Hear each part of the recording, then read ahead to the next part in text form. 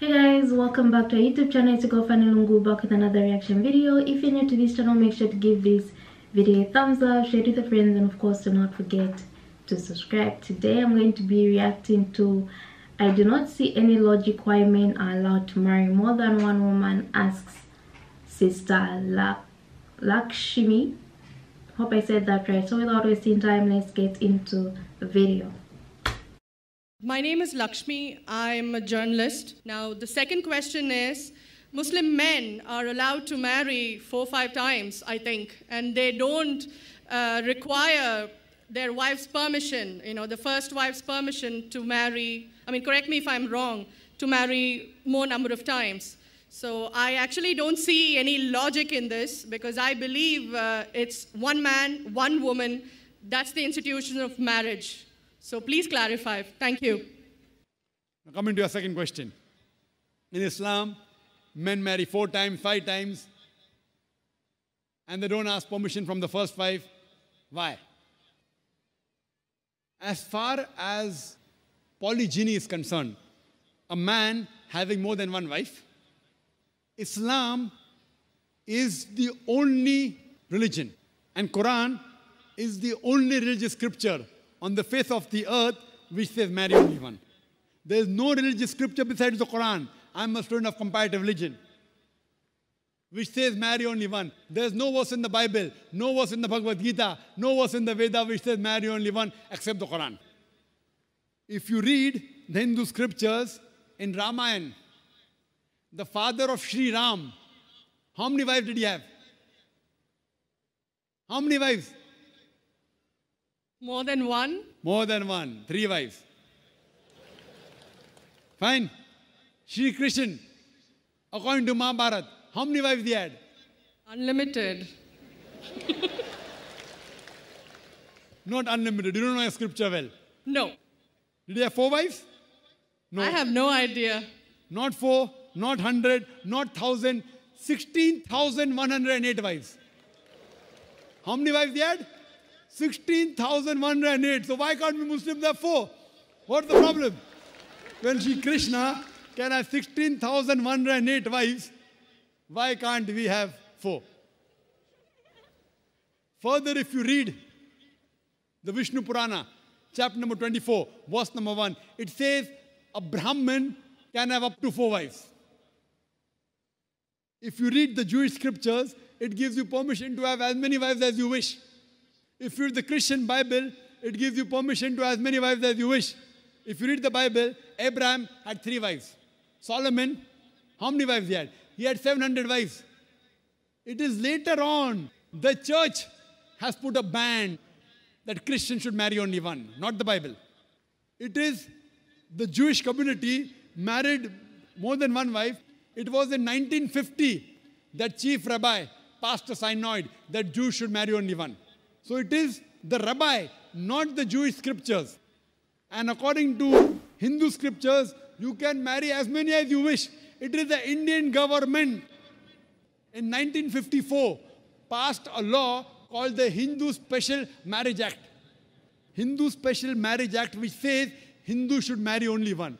It is not the religious scripture. It is not Bhagavad Gita. It is not Ramayana. It is not Mahabharata. It is not Veda. It is the Indian Penal Code.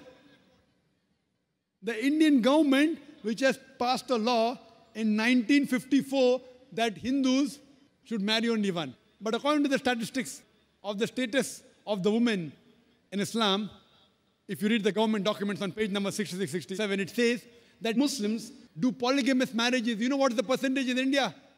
4.3%. How much? In India, 4.3% of the Muslim men do polygamous marriages. A statistic between 1951 to 1961. Hindus, how many? 5.06. 0.7% more than the Muslims in India. According to the Indian government. Even though it is prohibited according to the Indian law, yet they do more polygamous marriages than the, than the Muslims. Why? Now, let's analyze what does the Quran say. Quran says in Surah Nisa chapter 4 verse number 3, marry women of your choice in twos, threes or fours. But if you can't do justice, marry only one. This statement, marry only one, is only given in the Quran and no other scripture. It says, marry a woman of a choice in twos, threes, or fours. But if you can't do justice, marry only one. So if you want to marry more than one woman, one of the criteria of the Quran is you should do justice. If you can't do justice, you should marry only one. Now, what are the reasons, logical reasons a person can think that why has Islam permitted certain men to have more than one wife? Many non-Muslims think it is fard, it is compulsory for a Muslim man to have more than one woman, to have more than one wife. It's not compulsory, it's optional. It's not fard, it's not compulsory. How many Muslim men do you know who have more than one wife? How many do you know, sister? How many do you know? A few. How many? A few Few again. means one, two, three. How many? Yeah, at least about three. About three. Have you heard of Dharmendra? Yeah. How many wives he has? Two. Muslim or non-Muslim? Non-Muslim. Non-Muslim. Your previous chief minister, what's the name? Jayalalitha. Yes. Hindu or Muslim? Hindu or Muslim? Hindu. Hindu, fine. Now these are famous personalities. Fine. How many famous personalities you know in India who have got more than one wife?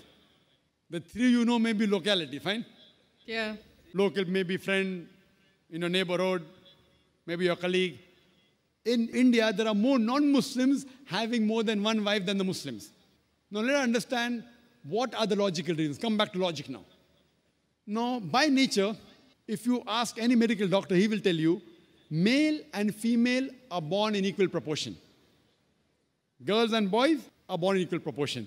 But any medical doctor, any pediatrician, any children doctor will tell you that the female sex, the female child is stronger than the male child. That's the reason there are more deaths in the male children as compared to female children. So in children's age itself, the female children are much more than the male children. As life grows on, there are people dying due to accidents, due to alcoholism, due to war.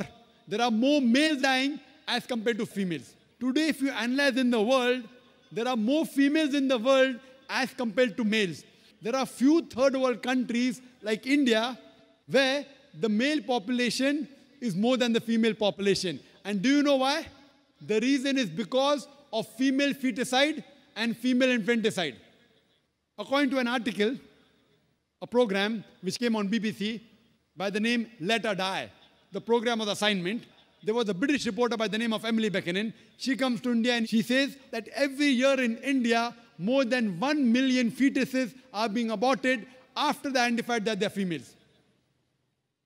She says more than 3,000 every day. You multiply more than a million every year. According to the Tamil Nadu government hospital report, she gives the statistics. Out of 10 female born alive, do you know how many are put to death? Four. Sister, did you know that? Tamil Nadu, your state, your beloved state, according to the government statistics, out of 10 females born alive in the government hospital, four are put to death. There are billboards put in Rajasthan and here which says that spend 500 rupees and save 500,000 rupees. You know what does it indicate? Spend 500 rupees, do ultrasonography, do amniocentesis, identify the child you're carrying is a female, abort her, and save 5 lakh rupees, 500,000 rupees. Maybe a couple of hundred thousand upbringing her, and the remaining 100,000 in dowry. If you stop this evil practice in India, our beloved country, stop the female infanticide, stop the female feticide. Even in India, the population of female will be more than the male population. If you see the rest of the world, if you see New York alone, there are 1 million females more than males. In USA alone, there are 7.8 million females more than males. In UK alone, there are 4 million females more than males. In Germany alone, there are 5 million females more than males. In Russia alone, there are 9 million females more than males. And God alone knows how many millions of females are more than males throughout the world. Suppose I agree with your philosophy, sister. You said, one man, one woman. If I agree with you, sister, with your philosophy. One man, one woman. And suppose my sister happens to be in America, or your sister happens to live in America. And suppose the market is saturated. One man, one woman, saturated. Yet there will be 7.8 million females who will not find life partners. One man, one woman. Now, the option for these 7.8 million females is either marry a man who already has a wife or become public property. You say, Dr. Zakir Naik, public property, such a harsh word. Sister, it is the most sophisticated word I can use. I cannot use a more sophisticated word than public property. According to the studies of America, do you know, on an average, a man, before he settles down with a wife, he has eight different sexual partners. Do you know that? On average, eight. Some may have one, some may have ten, some may have twenty-eight sexual partners before he settles down with one. So the only option remaining, so if my sister happens to live in America, or if your sister happens to live in America, and the option is given to her, and suppose the market is saturated, every man has found a woman for himself. And unfortunately, if my sister, or if your sister happens to be one of the women who has not found a life partner, the only option for them is either marry a man who already has a wife or become public property. Any modest woman would opt for the first. Sister, what would you opt for your sister? Marrying a man who already has a wife or become public property? My sister's too young to be married, so When she grows up and if she happens to go to America, or if you happen to be in America, third choice. what would you prefer for her? You're the elder sister. Would you prefer her becoming public property or marry a man who already has a wife and get equal rights? In Islam, if you have a second wife, you give equal rights. In America, the public property has got no rights. She's degraded, she's dishonored. In Islam, she has the equal right, she gets honor. What would you prefer for younger sister when she grows up? Sometimes it's difficult to speak the truth, sister, correct? Especially in front of such a large audience.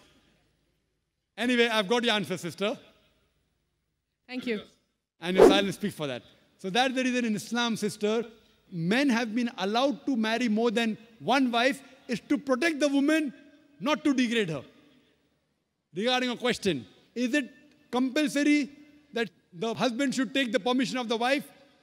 It's not compulsory because if she wants to protect, if that man wants to protect another woman, a normal woman, I agree with you, sister, no woman under normal circumstances would like to share the husband.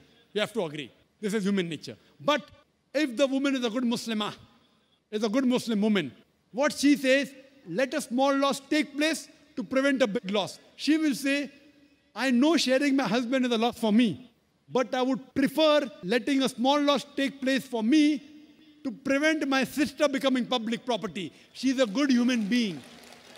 So she would surely give permission to the husband to marry a second woman if she's a good Muslim woman. But taking permission is not fard, it is preferable. But at least informing is a requirement so that he does justice between the two wives. Hope that answers the question, sister. Thank you. I understand that there are more um, women than men, but I don't know. I've actually been loving the stuff I've been reacting to concerning Dr. Zakir Naik, but then this, I personally, I think I'd love to be um, public property. I don't care if I'm disowned, I don't care if I'm shamed, I don't care what people are going to say, but I'd rather actually be public property. But that's just me. For the people that actually say, let me take this loss and go with it, that's fine. And otherwise, there are actually people that make it work, where families are so together, you wouldn't even know that they come from such a place of different wives, whatever the case is. And um, should the husband ask for permission? I think it's only right.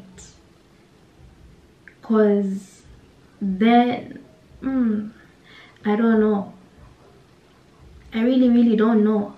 That's what I'm saying. For the people that understand this and accept it, then let them do it for the people that don't you don't have to even if you're scared of being private property you don't have to that's why um hi this is tough this conversation is very very tough maybe even arranged marriage would be better because this is complicated. Let me know what you guys actually think.